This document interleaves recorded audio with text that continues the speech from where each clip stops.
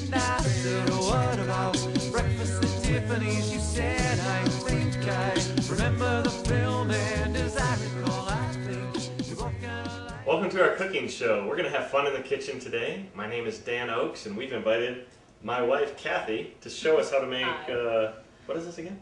We're doing chili, Chili. a big batch of chili, because I wanted to show how you can use your freezer. I was going to say, why is this such a big batch? We got a lot of food here. Because I think your freezer should be your best friend Really? in the kitchen. It is awesome. You can do so much ahead of time, and it'll save you so much work later on. That's it really true. will. Yeah. Well, it's, there's nothing nicer than when we go, come home late, and then we just grab a bag out of the freezer. Yeah. Heat up some uh, spaghetti sauce, right? Mm-hmm. And bada bing, there's dinner. Or Not to this case- mention the way my mom did chili. yeah. She started with we're gonna I'm gonna start browning the hamburger. It's a, a big six pound ground beef hamburger. Six pounds of ground beef in here. The way my mom did chili is she would cook a big pot of pinto beans and we would have cornbread and pinto beans for a couple days. Then she'd smash some up for burritos, and we'd have burritos for a couple days. And then she'd make chili at the end.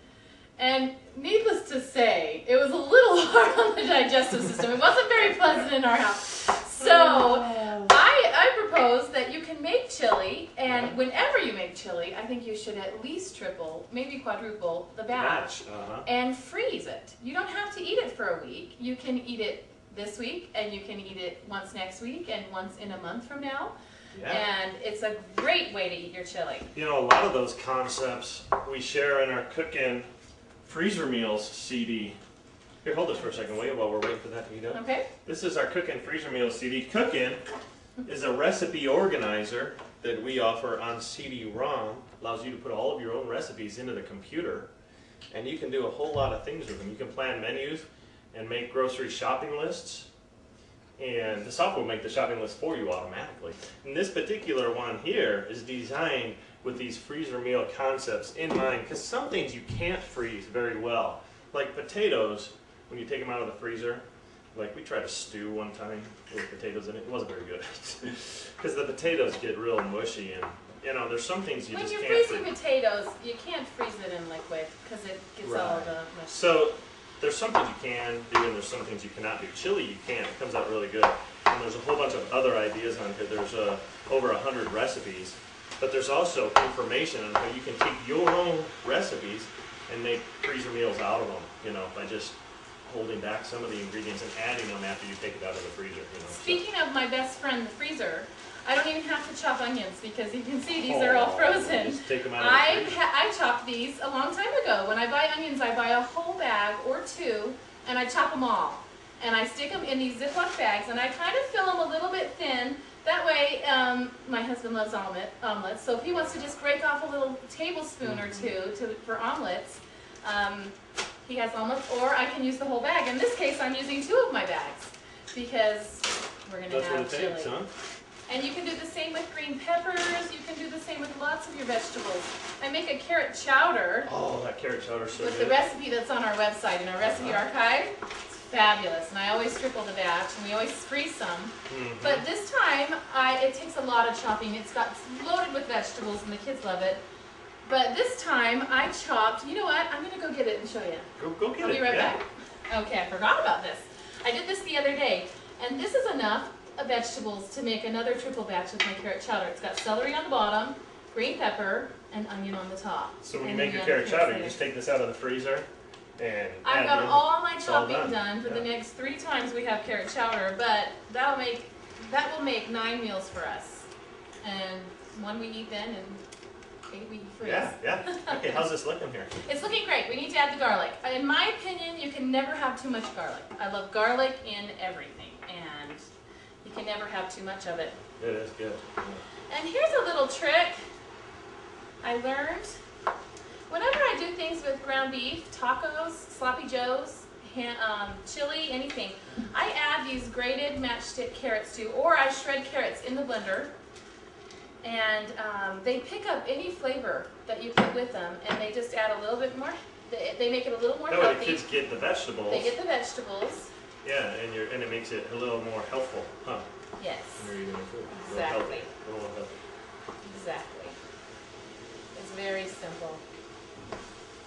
You want to make sure these carrots get good and tender too when you do it, and they will when you put in the other wet ingredients. You know, now we're just browning the ground beef.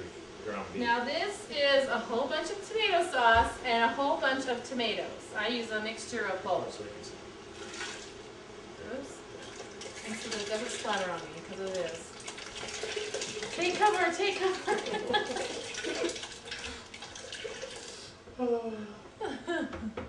and this, I say whatever kind of beans you like, that's what beans you use. I have some pinto beans, I have some chili beans, and I have some Kidney beans. kidney beans in here.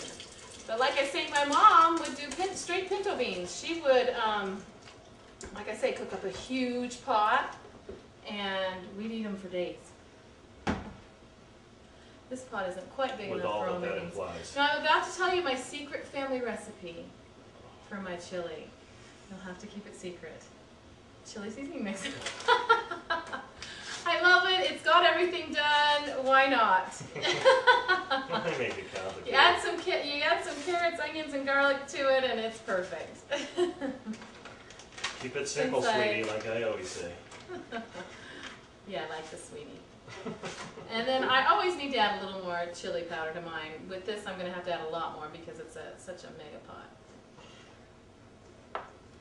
And that is it for my chili. After you've enjoyed the chili for as long as you want, and it's completely cooled off, I use I use these Ziploc gallon-sized freezer bags because my family's big.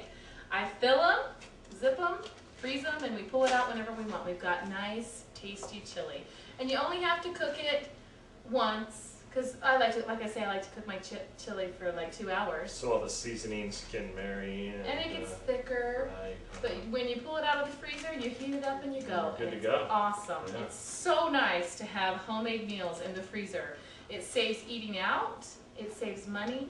saves, saves time, calories. saves time. Fat grams. mm-hmm. Now the other thing she does too is um, when I was a kid, we always ate, ate chili with crackers, you know. But she uses uh, what is it, Fritos, right? Corn chips is the only way to eat chili. You know, it, it's funny because um, we've always eaten them that way. And then later on, they came out with chili flavored corn chips. And I like to think that they copied our family to that. I think they did. I think they did. In fact, I ran into um, one of my friends from when I was, I had to be 10 years old. And I ran into her again and she said, I always remembered you because you ate corn chips with your chili. and I still do that today because of you. Anyway, you should try it. It's really, It really is good. Yeah, And that's the chili in a that's pretty much it. Thank you so much, sweetie, for coming on and sharing this recipe with us. and thank you for joining us. We hope you enjoy your chili, and we hope you'll come back and see us again next time.